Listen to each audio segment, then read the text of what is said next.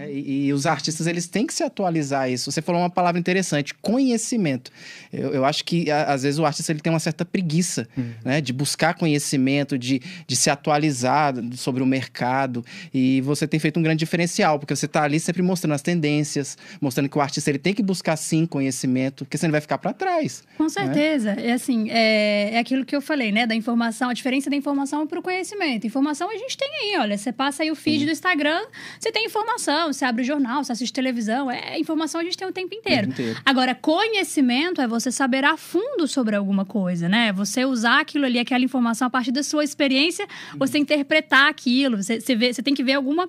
com o que, que você vai usar aquela informação, né? E, e hoje é impossível um artista que não tenha esse conhecimento da realidade. É, é assim, eu, eu tenho dó às vezes, sabe? De verdade, uhum, porque eu vejo gente com muito talento gente que podia estar, tá, sabe, cada vez crescendo mais, podia estar tá alcançando, né, é, espaços.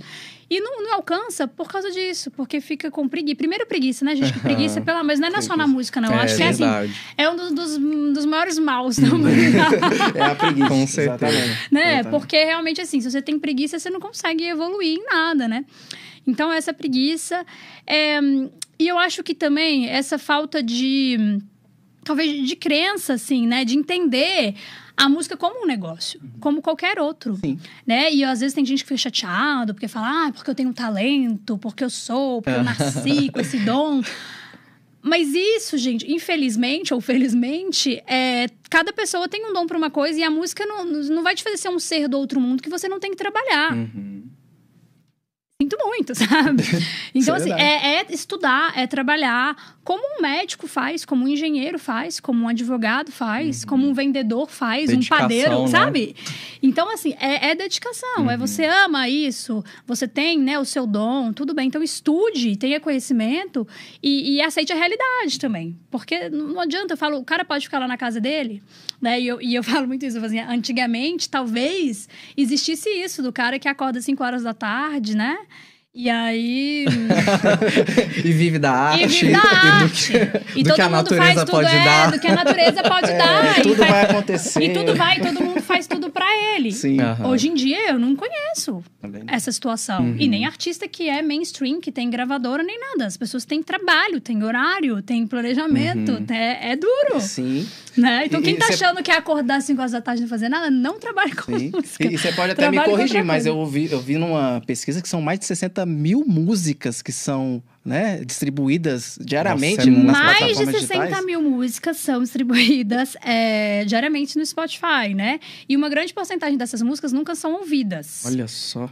Se a gente não precisa nem esforçar muito, se a gente dá uma olhada, a maioria dos artistas acabam não tendo quase escutas no Spotify, por sim, exemplo, né? Sim. E digo Spotify, mas em qualquer uhum. plataforma uhum. de streaming. Por quê? Porque não é só você lançar uma música. O trabalho que existe para que além da produção da música, você faça a sua música chegar até as pessoas, ele é muito grande. Uhum. Não é só chegar até as pessoas, é as pessoas se envolverem com aquela música Sim. também. Né? Então é todo um processo que ele requer muito trabalho, muita dedicação. Uhum. Né? Então, assim, é, eu, eu, brinco assim, eu sou a, a, portadora das, das más notícias, né? Ela traz as novidades, mas também as más é, notícias. É, eu chego assim, olha, infelizmente. Não é Se você assim. achava que, né, que ia ser moleza. Uhum.